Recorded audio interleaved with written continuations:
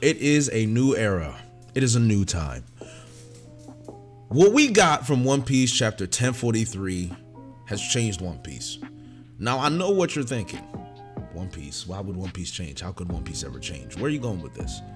So let's let's let's gather up the facts of what we know about One Piece for the most part. For the most part, One Piece, yes, is a shonen series. Yes, One Piece has a lot of shonen elements, but for the most part, One Piece has kind of been different than its contemporaries with the one, the volume of chapters, two, the vast amount of foreshadowing, the vast amount of theory making, the vast community that we have.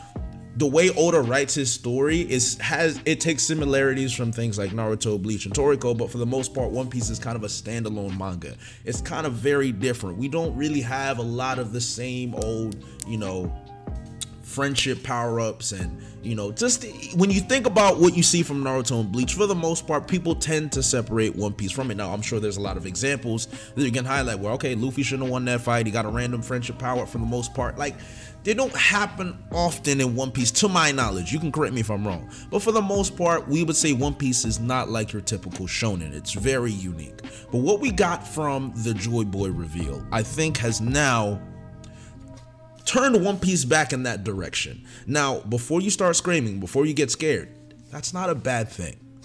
It's not a bad thing. So let's let's calm down. What I'm saying is is that we can confirm Luffy died. And I don't care what you think about Luffy not dying, he's not dead.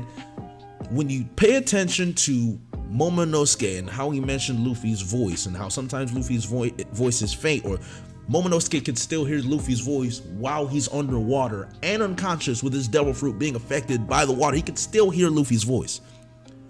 Momo said Luffy's voice is gone. Law said Luffy's voice is gone. He died, guys. I'm sorry. I don't know what to tell you, but he died. And the fact that you hear the sound effects in the viz and the scans, it's a clear sound of his heart beating again. We've seen examples of it on multiple occasions. Enel is the perfect example. Enel died. Wyper killed Enel. He killed him. This man recharged his heart.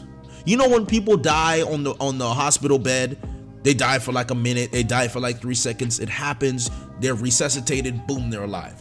Luffy died. Kaido killed Luffy. And his body is being resuscitated by Joy Boy. And what's happening is Joy Boy is coming out within him. Now, there's a lot of theories, there's a lot to discuss on what Joy Boy is, where it's coming from. Is it awakening? Is it a host thing? Is it reincarnation? There's so many different things that we need to figure out. But let's not go down that rabbit hole because there is millions of Nika videos and Joy Boy videos out there. I'm sure you can find them on Ohara's channel, Brago's channel, Mortis channel, everyone's channel. You guys know I'm not a theorist, so I'm not going to bore you with the details, even though you guys are very excited. I can give you my thoughts on what I think it could be, but don't expect me to dig deep and, and come up with foreshadowing from 29,000 chapters again. It's not going to happen. What I'm trying to tell y'all is Luffy died. Luffy has reincarnated. We are now in that realm. So now we're in that realm, and I don't think it's bad. I'm happy about it because if there's a way to reveal Joy Boy, this is interesting. And the reason I find it interesting is because We've all wondered one, who Joy Boy is, what Joy Boy is, and how would he come about. So he's coming about within Luffy.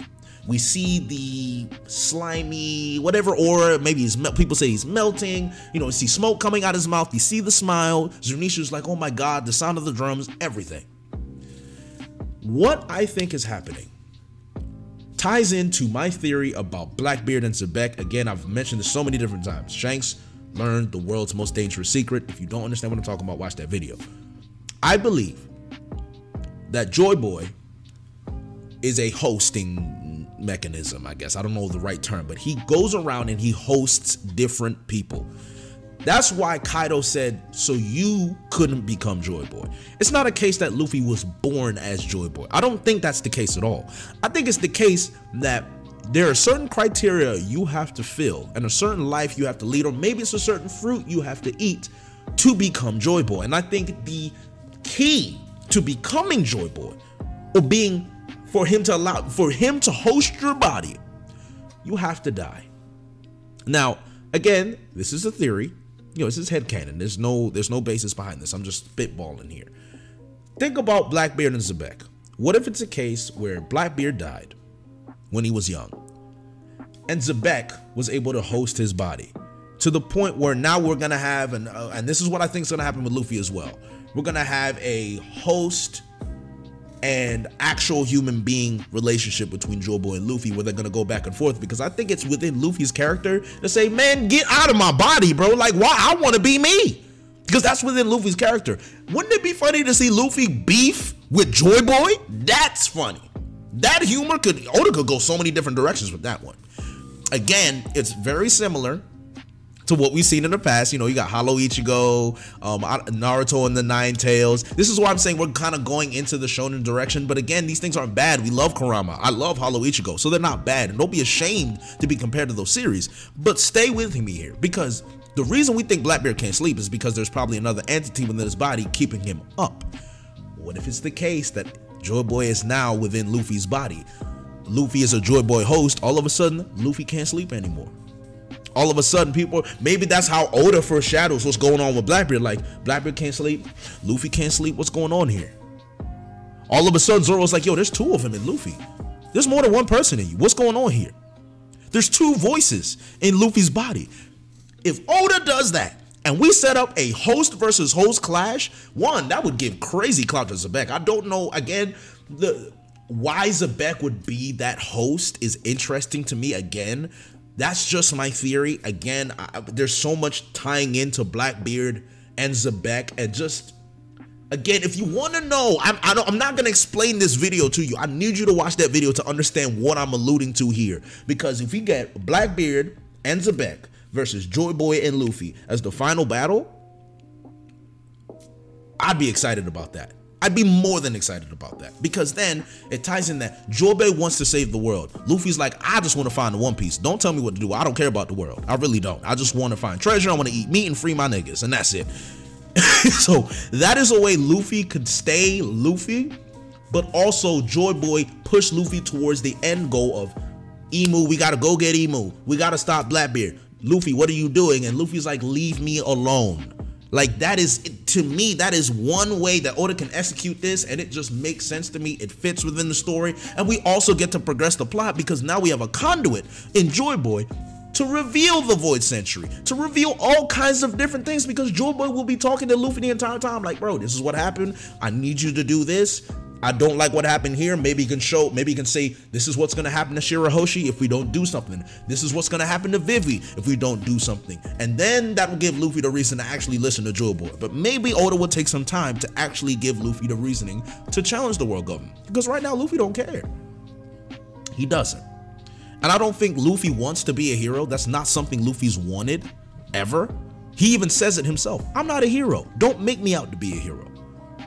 I do what I want and I eat and I discover and I want the One Piece. Now, Joy Boy again, uh, Joy Boy would reveal, oh, I know what a One Piece is. I know what it is. Luffy's gonna cuss Joy Boy out. Like, if you tell me what the One Piece is, I will hurt you. I will go inside my body, kill myself, and kill you, and everyone will lose. The Gorosei will win.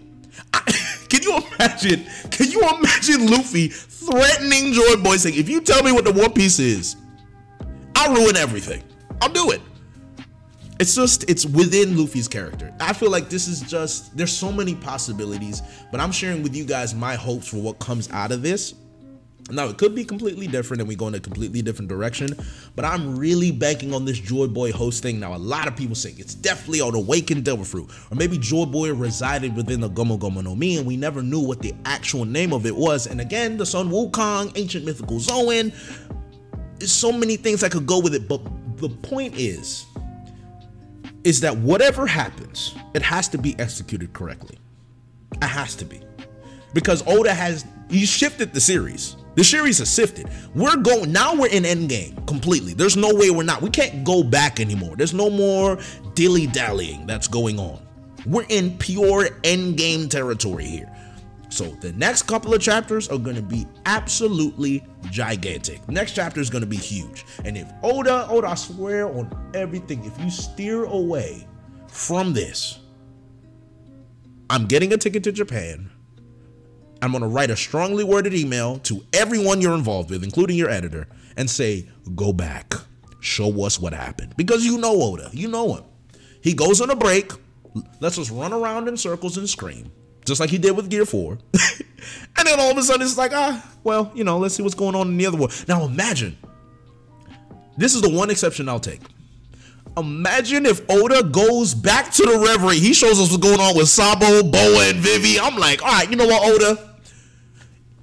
You're slick, but I'm taking it. I'm like, Oda, you're slick, but I'm gonna take it. I'm gonna take this one. I'm gonna take it. I'm gonna take it. We take those. We ain't even mad at it. God, just so much to come. I mean, I just needed to share with you guys my thoughts. I know I know I took some time making this video, but I needed to really let it settle in, get the ideas flowing in my brain because there's so much to come from this. We still need to talk about Kaido, but I'll save that for another video. Thanks, guys. I'll catch you later. Take care. Yo, everybody. Thanks for watching. Make sure to subscribe here to get the latest from the channel. Or also, check out some other videos that might suit your specific tastes.